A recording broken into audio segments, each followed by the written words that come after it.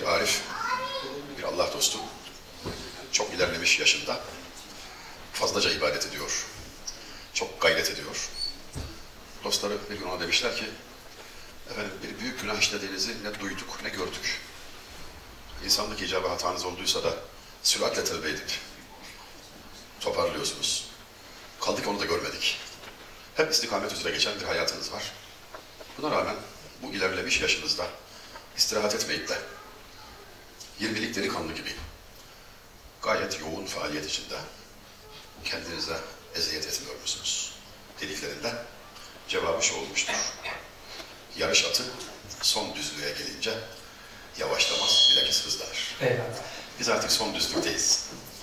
Yani etrafımdaki insanlara uğurladıklarımıza falan bakıyorum. Ee, biz talebeyken bu işlere başladığımızda, okumaya başladığımızda, öğrenmeye yöneldiğimizde dostlar birbirimizle dedelerimizin vefat üzerine başsağlığı mesajlarında bulunurduk, taziyede bulunurduk. Sonra babalarımızın, amcalarımızın falan derken şimdi artık akranımızın taziyesinde bulunuyoruz. Bu vaktin yaklaştığına delildir. Telaşa mahal yoktur ama